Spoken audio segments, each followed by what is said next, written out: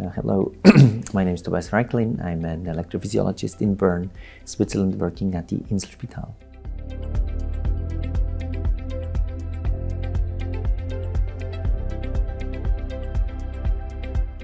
Yeah, so in, in our team, kind of, there's uh, eight operators, and altogether we perform about uh, 1,600 ablations a year. And so a typical working day is that there's two labs that focus on ablation and one lab that focus on devices.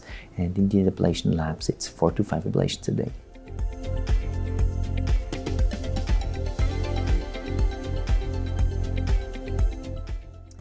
So FARAPULSE we use mainly for patients with um, atrial fibrillation and uh, atypical atrial flutters, and that's the largest group of ablations of the 1600. It's about 1,000 is for atrial fibrillation and atrial flutter, and there for all left-side ablations, it's now our clear workhorse, and we use it in probably almost 90% of the cases.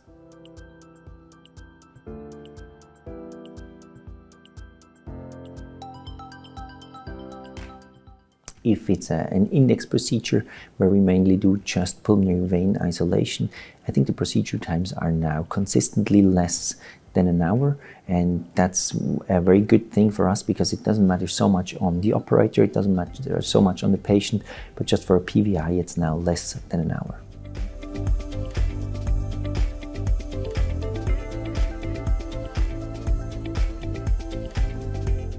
Yeah, so this has greatly affected our lab efficiency because kind of we were coming from times where point by point um, PVI was taking two and a half hours and the cryo PVI was taking one and a half hours and then bringing down procedure time consistently to less than an hour um, has uh, clearly increased the throughput of our lab.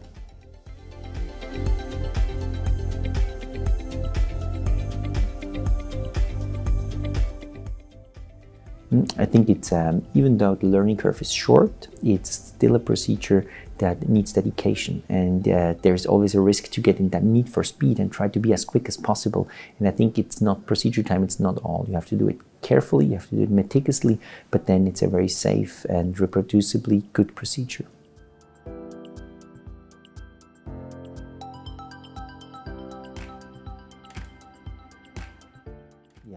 So um, we did not start this from day one, but at some point in time, others have asked me, why don't you do your transeptal puncture straight with the fire FARADrive sheet? And uh, so we started to try this, and I, I, very much like the sheet because first the dilator has a very soft tapering in the beginning. It's a long dilator, and then the lip to the uh, sheath is very soft as well. So it's good for groin axis and it's good for transeptal axis. And so we use the wire, the stiff wire that we will use later for PFA, first for groin axis, and introducing the, um, the FARADrive sheath. Then we will use a long BRK needle to the pull down to the transeptal puncture.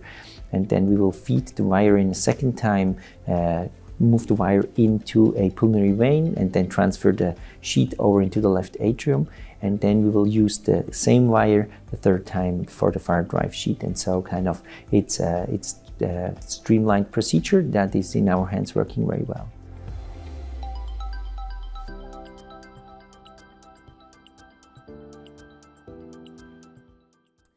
Um, a bit hard to know and then we would need quality of life data kind of to support this. Um, and so my uh, total personal experience with this is, I think the shorter the procedure time, the shorter the anesthesia for the patient, and the quicker the recovery of the patient. That's one.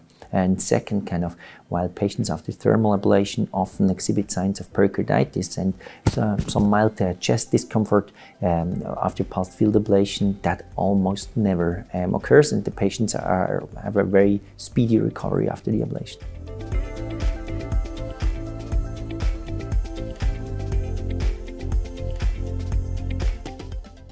So after the initial data from Prague, where um, all patients at three months after ablation were brought back to the lab, irrespective of recurrence or not, um, there was a very high durability of 95% was found. And so the hope was now, finally we found the tool that makes durable lesions. And now unfortunately it turns out that in the patients that are coming back to the lab for clinical recurrence, so that's a different group of patients, here the durability is not all that high. It's about uh, the 75% um, of the veins are isolated and about 50% of the patient exhibit kind of four isolated veins. So there still remains some room for improvements. Those data is kind of quite similar with uh, thermal ablation data.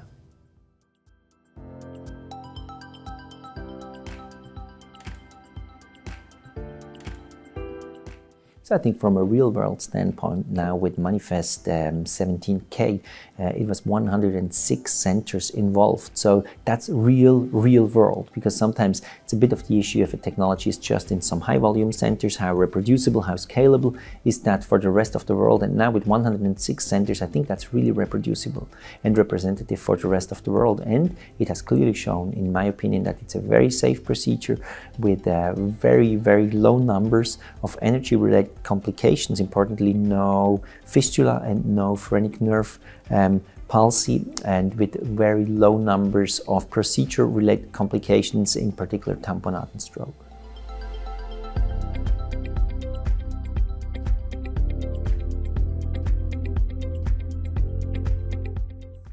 So I think a key scientific learning is that um, we have cryo and RF energy that have a large evolution behind them, and operators have done years of training with those technologies. And then we have a new technology, generation one, and the operators um, just kind of did the first few cases. And then when those two technologies were compared, kind of uh, there was no difference between the two. And you would expect that something that has um, evolved over years would be better. And then, interestingly, the new kid on the block procedure time is significantly shorter and it's very safe.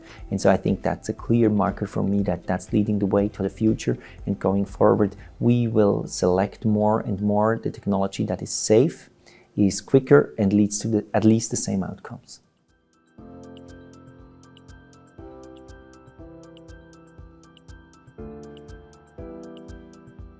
So I think I, I see mainly or three probably three potential advantages. First, kind of having a mapping uh, technology enables us to create the anatomy and then display the catheter within that anatomy.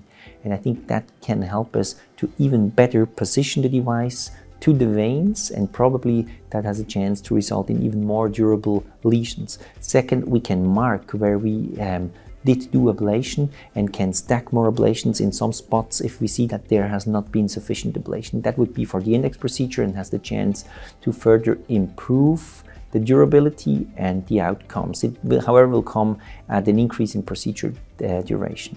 And then second, for all patients after first ablation um, that continue to have atrial arrhythmias, first we need to map. We need to see is there vein reconnections? Is there no vein reconnections? Is there scars somewhere outside the pulmonary veins? Kind of to define the lesion set that most likely will help that patient. And for that also, we need a mapping system. And then if we have kind of the ablation catheter, the FARAWAVE integrated in there, then we can streamline those procedures as well.